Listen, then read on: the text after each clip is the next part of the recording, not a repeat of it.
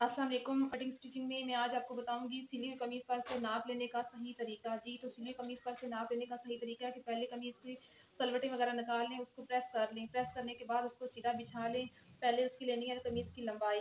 जी तो पहले हम लंबाई लेंगे कमीज़ की लंबाई लेने के लिए। हमने यहाँ से लंबाई नहीं लेनी जहाँ से बाजू अटैच होता। है हमने यहाँ से लेनी जहाँ पे गला बना होता है। गले के साथ से हमने यहाँ से एच स्टेप रखनी है। और नॉर्मल तरीके से ना कमीज़ को ज़्यादा खींचना है। आपने स्टेप और कमीज़ को बराबर रखते हुए यहाँ पे इसकी लंबाई लेनी है तो मेरी ये लंबाई आ रही है thirty nine inch thirty nine inch पे आपने आपने यहाँ पे लिखना है।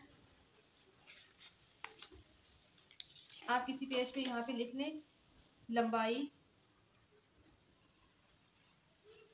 उनतालीस इंच तो मेरी कमीज़ की लंबाई है उनतालीस इंच अब हम इसकी लेंगे चुड़ाई। लंबाई के बाद लेंगे जी चुड़ाई।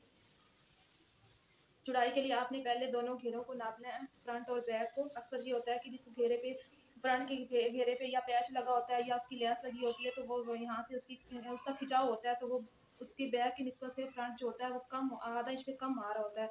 तो पहले आप नाप लें, अगर कम आ रहा है तो आप बैक की ले लें, या आपने यहाँ से इसकी चुड़ाई लेनी है, यहाँ से। अगर यहाँ पे कोई फ़र्क आ रहा है तो यहाँ से इसकी चुड़ाई ले लें, यहाँ पे कोई सिलाई नहीं होती तो ये मेरे घेरे पे कोई फ़र्क नहीं आ रहा। तो मैं इधर से ही इसकी चुड़ाई लूँगी। घेरे की चौड़ाई है जी बीस इंच। आपने लिखना है चौड़ाई बीस। चौड़ाई लेने के बाद आपने लेना है जी तिरे का नाप। तिरे का नाप इस तरह लेना, आपने गले को सही बिठा लेना, ये तो मेरा बंद पट्टी वाला गला है। अगर आपका गला गोल या कोई खुला गला है तो आपने उस तरह गले को इस तरह पकड़ना यूँ खींच के खोलना नहीं है। गले को इस तरह रखना है, सीधा आपने रख के, उसके बाद आपने तीरे का निशान तीरों को नापना इस तरह। यहाँ जहाँ जहाँ आपके बाजू, आपका बाजू जुड़ा हुआ है, यहाँ पे आपने रखनी है स्ट्रेट और यहाँ तक। तो मेरा तीरा आ रहा है चौदह इंच। यहाँ हम लिखेंगे तीरा चौदह इंच। उसके बाद हम यहाँ से लेंगे सामने सामने का नाप, जो हम कटिंग करने के दौरान हम कहते हैं कि यहाँ से फ्रंट को हमने डीप कटिंग करनी है कमीज़ की यहाँ तीरे से तो यहाँ से यहाँ सामने का नाप लेना है। तो ये मेरा आ रहा है साढ़े बारह।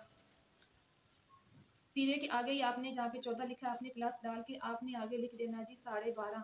इस तरह आपको याद रहेगा।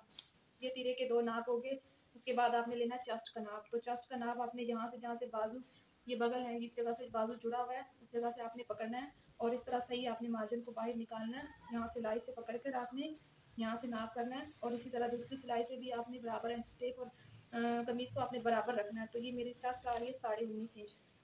तो यहाँ पे आपने लिखना है चेस्ट साढ़े उन्नीस। उसके बाद आता है जी फिटिंग का नाप फिटिंग जहाँ से आपको ये नज़र आ रहा होगा, या गहराई में जो गुलाई हुई है, ये आपकी फिटिंग होगी। तो आपने ये फिटिंग का नाप लेना इस तरह। ये आ रहा है मेरा साढ़े सत्रह इंच। तो आपने लिखना है फिटिंग साढ़े सत्रह। उसके बाद आपने लेना है जी हिप का नाप। हिप का ये नाप है जहाँ पे आपकी ये चौक बंद हुई हुई है यहाँ पे। ये चौक वाली जगह पे, यहाँ पे, यहाँ से आपने रखना है।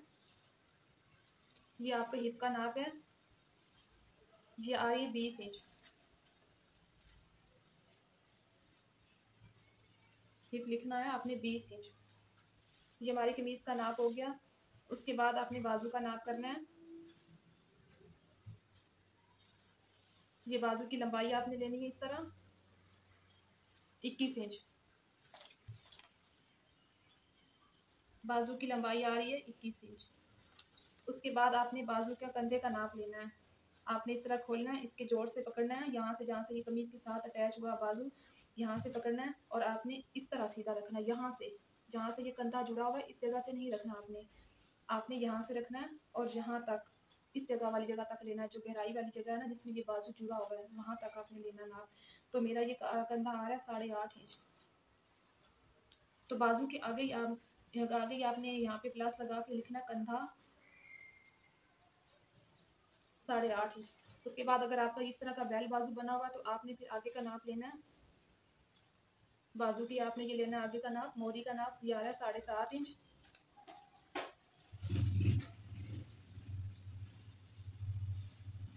और उसके बाद आपने बाजू की फिटिंग का नाप लेना है।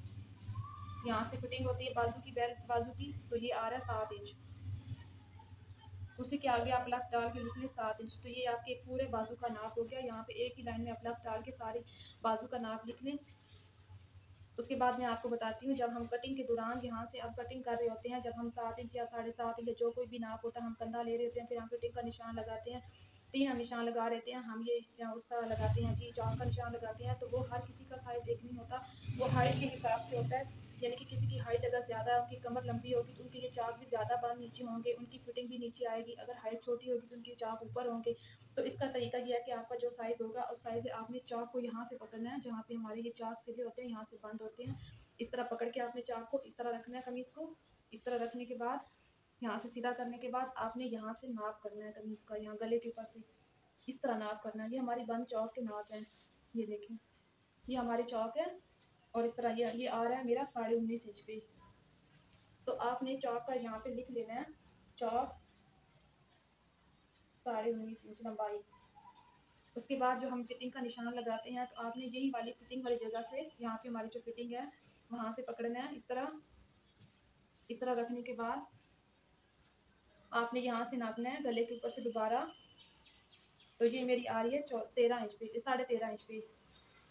तो आपने इसी के आगे आपने लिख लेना प्लस डाल के साढ़े तेरह इंच क्योंकि जब हम आ, कटिंग कर रहे होते हैं तो हम उसी एक ही दफ़ा इंच स्टेप के साथ साथ फिटिंग चस्ट और हिप के निशान लगा रहे होते हैं।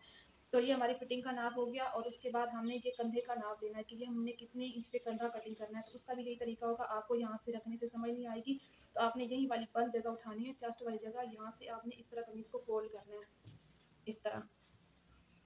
इस तरह फोल्ड करने के बाद आपने यहाँ से लेना है इसको। सॉरी यहाँ से लेना आपने इसको कंधे को। यहाँ से लेना है। तो मेरी कंधे की लंबाई आ रही है आठ इंच आठ इंच। तो आपने यहाँ पे इसी के आगे लिखना है, आठ इंच प्लस का निशान लगा डाल के कंधे की लंबाई। तो इस तरह ये आपका नाप होगा और एक बात मैं आपको समझाऊं, आप जिस कपड़े के लिए नाप ले रही हैं, अगर आप कोई रेशमी कमीज सिलाई कर रही है, लाइनिंग वाला तो उसके लिए आपको रेशमी कमीज़ का ही नाप लेना पड़ेगा। उसके लिए आपको लॉन का नाप नहीं लेना होगा। अगर आप लॉन की कमीज़ सिलाई कर रही है, कॉटन की कर रही हैं तो उसके लिए आपको लॉन या कॉटन की कमीज़ नाप के लिए लेनी होगी। उसमें कोई फ़र्क नहीं आएगा। अगर आप कोई और मोटी कमीज़ खतर की या किसी चीज़ की कर रही हैं तो आपने उसी साइज़ उसी हिसाब से उसका नाप लेना होगा। तो लिलन का आपने किसी के लिए भी नाप नहीं लेना। लिलन का कपड़ा जो होता है, वो धोने के बाद दोबारा क्लोज हो जाता है और पहनने के बाद वो खुल जाता है। तो उसका नाप आपने किसी सूट के लिए भी नहीं रखना। तो उम्मीद करती हूँ आपको मेरी वीडियो बहुत अच्छी लगी होगी। मेरी वीडियो को लाइक शेयर और सब्सक्राइब लाजमी करें। मिलते हैं अगली वीडियो में। अल्लाह हाफिज़।